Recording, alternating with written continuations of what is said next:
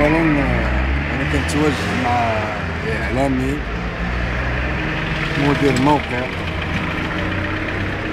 هو غني عن التعريف وثيقه وكيعرفوا الجميع أنا كنت سأل لماذا تم الاستثناء من الإحصاء؟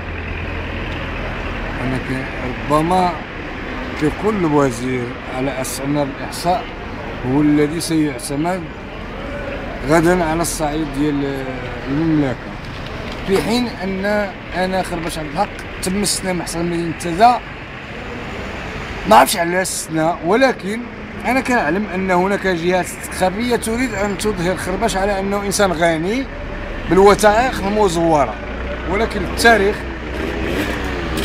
والمملكة المغربية والإخوة المغرب أنا ما عندي سكنه عندي المرأة 8 سنين أنا وياه هي بجيه وأنا بجيه. عندي ولد ما عنديش دخل قار ما عنديش منضه أنا كنتسال لماذا لم يتم هذا الإحصاء ما جاوش عندي علاش؟ حتى يعني هذا اللوبي ديال تازا كي دخلت في الإحصاء هذا شيء خطير جدا. الصراع السياسي كنقولوا نعم. الصراع السياسي نعم. ولكن أن أحرم بأن بأن أحصى هذا شيء خطير. هذا شيء خطير يعني جدا. أنا لما أحصى؟ ان استثنى من الإحصاء. والرسالة سوا بغاو يبينوا خرباش بأن خرباش أنه شي إنسان ربما اللي لاباس عليه وما بغاو يقدموني أنا. زعما لاباس عليا باش يقدموا أنا كنقول بأني فقير خدمت المغرب لمدة 43 سنة. ما عنديش فين نسكن عندي مشكل مع مرأي لمدة 8 سنوات.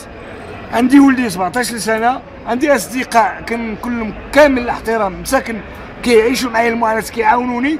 هما ما بغاوش يحصيوني لهذا الهدف ولذلك نقول أنا كنتسال ما هي الجهة التي حرمتني من الإحصاء.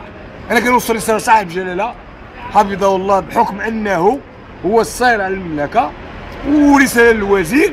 أنا غدا ساتقدم بدعوة رسمية ضد هاد الناس اللي ما جاوش يحصيوني. وشكرا الاخ المدير ديال التزابنت اللي هو صديقي وزميلي مدة. حتى من الاحصاء نتحال مع عباد الله أنا سأقدم دعوة رسمية. ما جاوش عندي ما جاوش عند المرأة. حنا ما تحصيناش وغدا غنقول الإحصاء نازي. شكرا سي سيفا وتزابنت